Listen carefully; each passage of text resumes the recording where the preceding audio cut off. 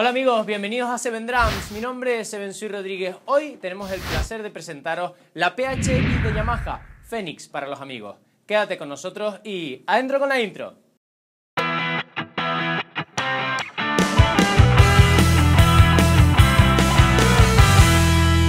Bueno chicos, como iba diciendo, vamos a, presentaros un poquito la, batería. Deciros simplemente las medidas que, nosotros hemos elegido, son las medidas que yo siempre llevo.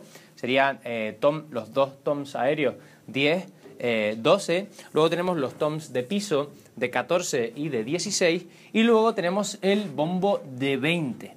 Como podéis ver, el color que nosotros tenemos es el Black Sunburst y es bueno, un color bastante, pues bastante bonito, a mí me gusta muchísimo, la verdad que impresiona mucho cuando la sacas de la funda. Primero vamos a empezar con las maderas. ¿De qué tipo de madera está hecha esta batería?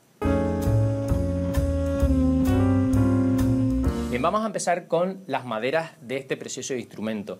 Recordar que tiene 11 capas, ¿vale? Y esas 11 capas se dividen en tres tipos de madera diferentes. La primera madera que nosotros vamos a encontrar es la jatoba y es una madera brasileña. Va a ser el núcleo del casco, ¿bien?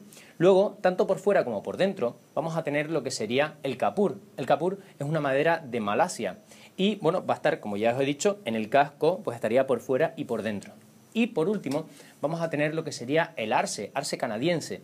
Y este va a estar tanto en el exterior como en el interior. Lo que va a hacer es que el instrumento ¿vale? Al ser el arce, al ser una madera un poco más viscosa y más maleable, ¿vale? Pues lo que tenemos es que vamos a encontrar calidez y el punto final realmente para el sonido de este maravilloso instrumento.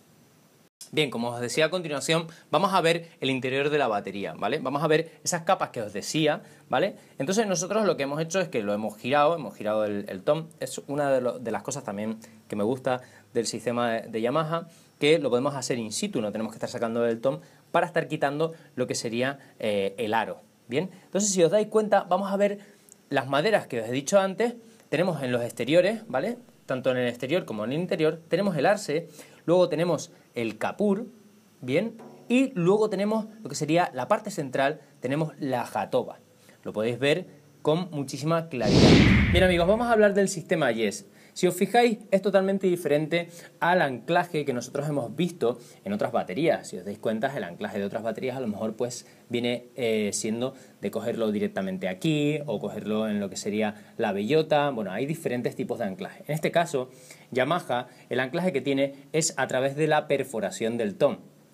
Entonces, esa perforación, como podéis ver, tiene aquí unos tornillos y luego aquí tiene unas gomas que lo que hacen es que reduce el impacto de esas vibraciones. Pero hay una cosa muy importante que es esto que nosotros tenemos aquí, esta madera, que lo que hace es que reduzca las vibraciones y por lo tanto también lo que hace es que reduzca eh, los armónicos que a nosotros no nos gustan o armónicos que pueden aparecer a través de esas perforaciones. Un sistema bastante novedoso y la verdad es que se nota muchísimo en el sonido. Bien amigos, aparte de lo que serían los aros diecast que nosotros podemos encontrar aquí, tiene una cosa muy curiosa. Mirad, voy a ir quitando esto y una de las novedades que tiene es que nosotros podemos quitar lo que sería el tornillo con este tipo de anclaje. Nosotros podemos simplemente quitarlo aquí, no hace falta que quitamos el tornillo del todo, sino simplemente nosotros lo, lo, lo quitamos desajustamos, ¿vale? Y ya sacamos lo que sería el aro. Esto nos da una cierta comodidad a la hora y rapidez a la hora de cambiar lo que sería el parche de nuestro instrumento. Bueno amigos, vamos a centrarnos ahora en la parte del bombo, tanto en la parte de adelante como en la parte de atrás. Nosotros tenemos nuestras llaves, cosa que por ejemplo en otras baterías nosotros tendríamos todas, eh, todas las llaves las tendríamos con eh, la convencional, ¿vale? Aquí en este caso solamente la parte de abajo es donde llevaría la parte lo que serían los tornillos convencionales y luego en la parte esta de aquí arriba tendríamos eh, estas llaves de aquí. Esto hace que sea mucho más fácil a la hora de nosotros tanto poner el, eh, poner el parche como a la hora de nosotros afinarlo. Si os dais cuenta, también lleva el mismo sistema que nosotros hemos visto en el tom, ¿vale? Por lo tanto, si queremos sacar el tornillo, simplemente lo único que tenemos que hacer es desenroscarlo, ¿vale? Y sale muy fácilmente, no tenemos que estarlo quitando todo. Para ponerlo es exactamente lo mismo. O sea, es muy fácil, ¿vale? Y no tenemos que estarnos liando más. Como podéis ver, el acabado es impresionante. La beta que nosotros tenemos aquí eh, nos recuerda un poco eh, pues, eh, como si fuesen las olas del mar y es impresionante al tacto, es, vamos, algo increíble.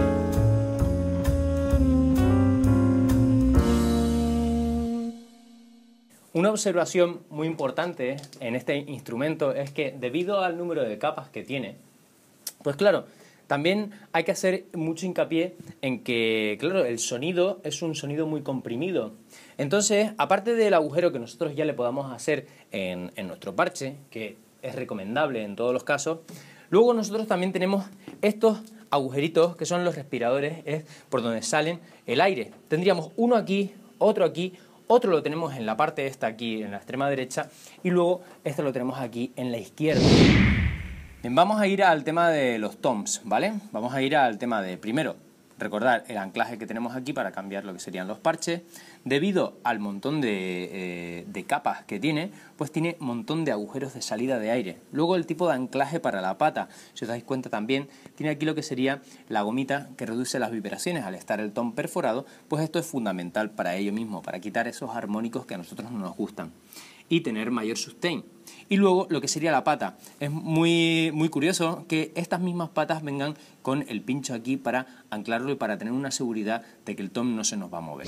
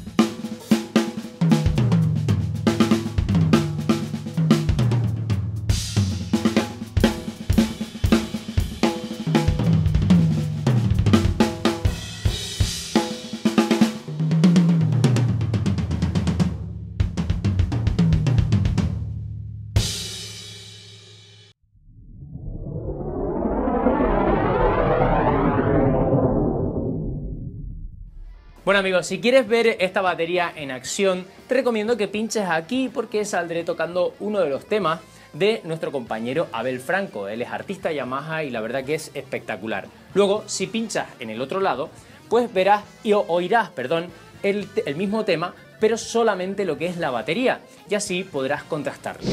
Bueno amigos, antes de despedirnos, vamos a dar las gracias primero a estos constructores de Yamaha que hacen estas maravillas de instrumentos, ¿vale? Que se basan, que se han basado durante 40 años para traernos realmente este gran instrumento a nosotros, a los bateristas, y poder nosotros disfrutar de esta maravilla. Luego vamos a darle las gracias también a Yamaha Europa por darnos la posibilidad de tener este maravilloso instrumento aquí en Seven Drums y traeroslo a todos vosotros. Bueno amigos, pues hasta aquí el vídeo de hoy, espero que os haya gustado y si eso es así recuerda dale a like, comenta y comparte, ya sabes que tu opinión es muy importante para nosotros. ¡Eh! Espera, espera, espera, espera. Y ya sabes, suscríbete que no se tarda absolutamente nada nos podrás ayudar a seguir con este sueño. Aparte de todo eso, si compartes nuestros vídeos, sobre todo este vídeo que nosotros vamos a poner a continuación, pues claro, vas a salir aquí como estos 4, 6, 7, 8, los que sean que hayan compartido este vídeo. Aparte de todo eso, nos puedes ver aquí en el canal de Seven Drums. Aparte, de ¿dónde más, Diego? En Facebook. ¿Y dónde más? En Twitter. ¿Y dónde más? En Instagram. ¿Y dónde más? En sevensuirodríguez.com. ¿Por qué? Porque en sevensuirodríguez.com te puedes bajar toda la didáctica totalmente gratis para ti, para la gente de Seven Drums. Y como siempre digo, sé felices.